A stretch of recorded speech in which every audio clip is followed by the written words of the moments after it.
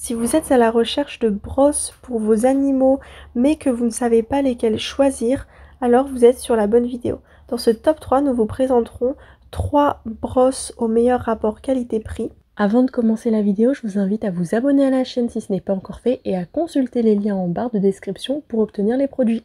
Nous commençons tout de suite avec la marque Candure qui propose une brosse pour chien ou pour chat professionnelle. Elle a plus de 5300 euh, évaluations et une moyenne de 4,5 sur 5.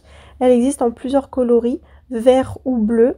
Le type de cheveux, donc c'est pour des brosses euh, grossiers, raides ou bouclées.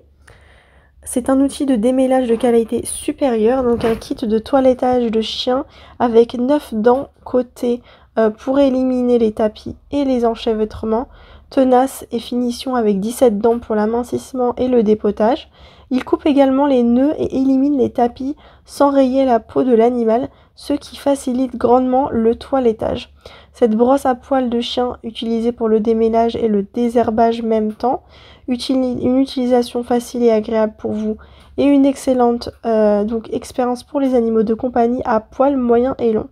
Il faut savoir que la poignée est ergonomique et antidérapante et l'utilisation est sûre et facile pour un brossage régulier, éliminant facilement le sous-poil mort pour qu'aucune fourre ne vole. Donc vraiment c'est un kit de toilettage parfait qui plaît énormément.